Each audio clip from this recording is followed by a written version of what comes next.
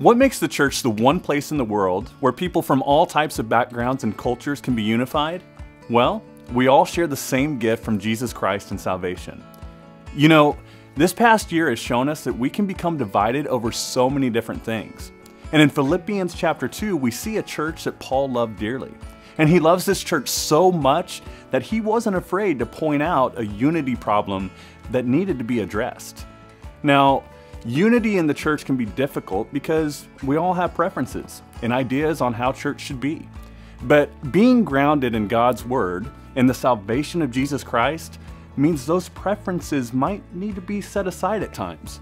Listen to what Paul writes in Philippians chapter 2 verses 1 through 4.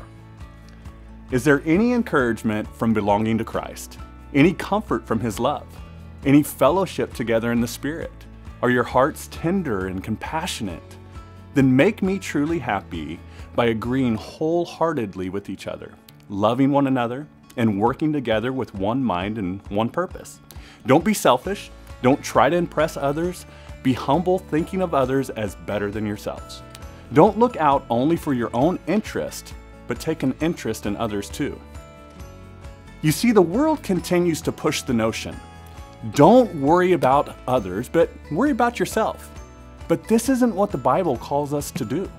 Instead, the Bible commands us to not cause division between our brothers and sisters in Christ. It's not a don't care about yourself and only care about others attitude, but an attitude that makes you more selfless instead of selfish. In verses 5 through 11, Paul points to Christ's example as the one who was most selfless instead of selfish. Christ humbled himself so that you and I might be saved from our sins and submit to His Lordship, which is the ultimate selfless act.